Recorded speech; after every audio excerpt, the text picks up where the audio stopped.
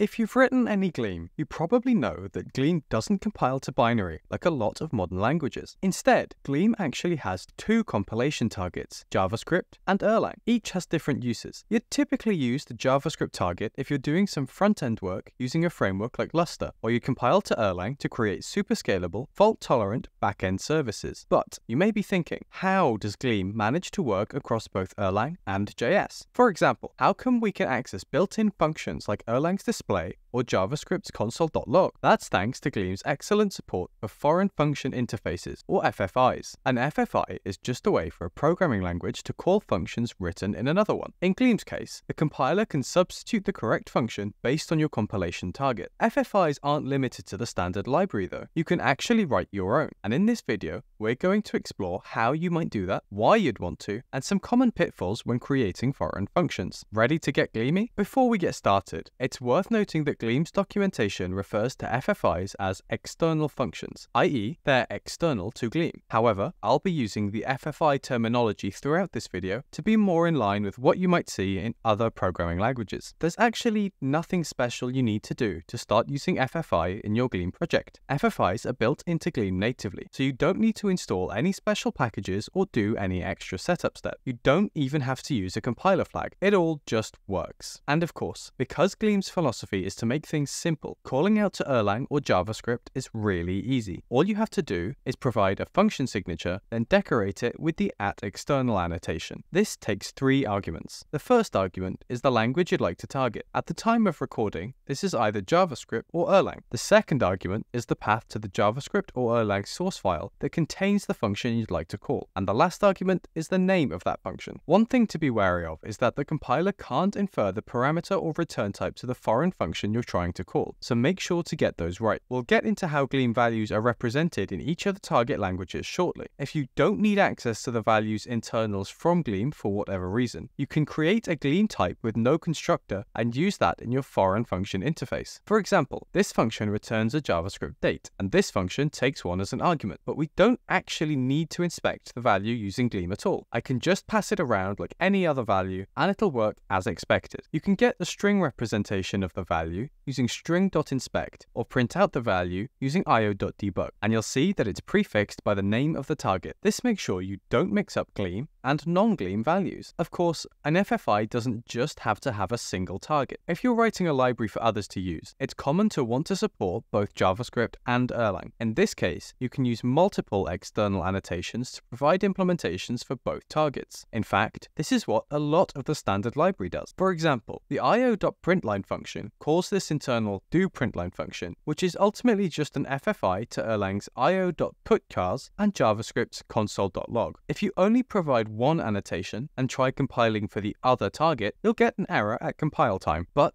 what if you want to use a foreign function for one target but a Gleam implementation for the other? Well, you can absolutely do that. This comes in handy when you have a function that can be implemented in Gleam, but one of the target runtimes has a more efficient implementation you can use instead. Both Erlang and JavaScript have some standard library functions that are written in optimized C or C++ respectively, so it can be worth tapping into those if they suit your use case. All you have to do is provide a body for a function marked with external. In this example, the reverse list function will use the Gleam implementation when compiling to JavaScript, but it'll use the lists reverse function from the Erlang standard library when you're targeting Erlang. If you're curious how this works, essentially when there's a foreign implementation available, the Gleam compiler will substitute any calls to the Gleam function with the foreign function, and if there aren't any available, it'll create the defined function as it would any other function and call it normally. For example, in the main function for the above, the generated JavaScript code will call the reverse list function, while any calls to reverse list will be substituted for list reverse on Erlang. Like I mentioned earlier, it's fairly simple. But how are types translated across the boundary between Gleam and its targets? Well, this varies depending on where you're compiling to. Let's start with Erlang. In the case of primitive types, you get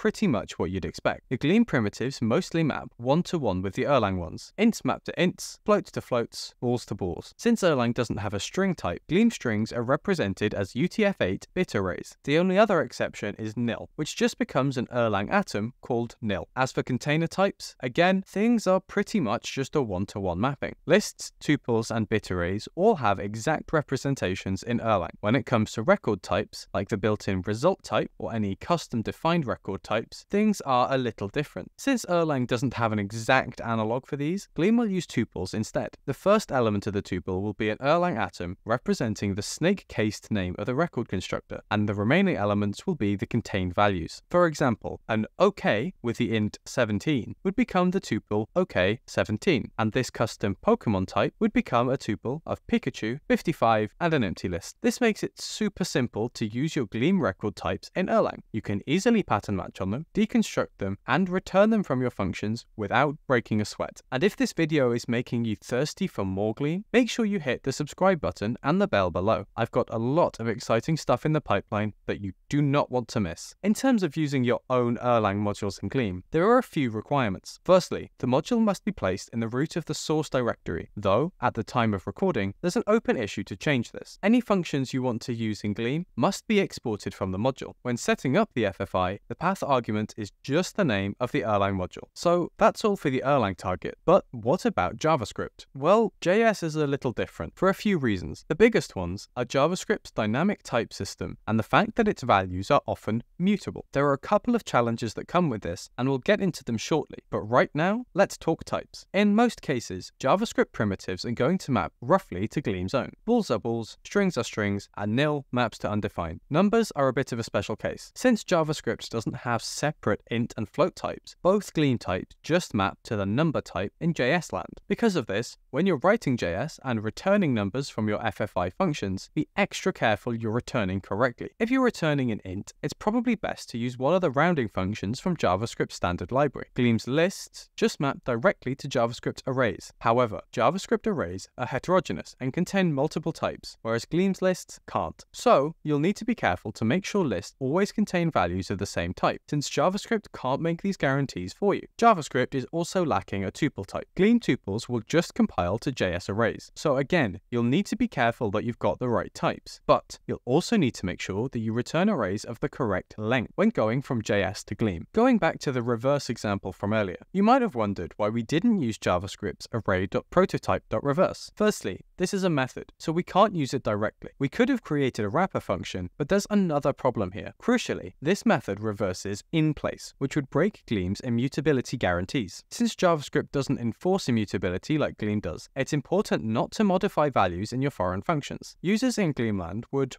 rightfully, expect immutability, and it could go badly if their memory started changing out from underneath them. Record types need some special treatment too. When targeting JavaScript, Gleam compiles your custom record types to JS classes. You can import these from within your JS modules and construct them like you would any other class. If you need to return a result type, you can import the OK and error constructors from gleam.mjs, which is where the Gleam globals live. You can also check for specific variants using regular instance of checks. Using your JS modules in an external annotation is easy. The path argument just becomes the path to the JS file containing your foreign functions. This currently has to live in the source directory, but the path is relative to the file in which the foreign function interface is defined. And make sure you export any functions you'd like to use from Gleam. You might be tempted to use FFI everywhere, especially if you're more familiar with Erlang or JS than you are with Gleam. But of course, this isn't really recommended. Generally, you should only use FFI in a few specific scenarios. The first is if you need to access functions built into the target runtime. For example, in JavaScript, you may need access to Node or browser APIs, whereas those using Erlang might want to bind to OTP functions. You can see good examples of these in the Gleam Erlang and Gleam JavaScript libraries. Another good example for JavaScript FFI is Plinth by Crowdhailer, a collection of bindings for various JavaScript runtimes. The second situation is when the underlying platform has a more efficient implementation than you can write yourself in Gleam, like the reverse example we showed earlier. Your target platform will probably have some functions written in C or C++,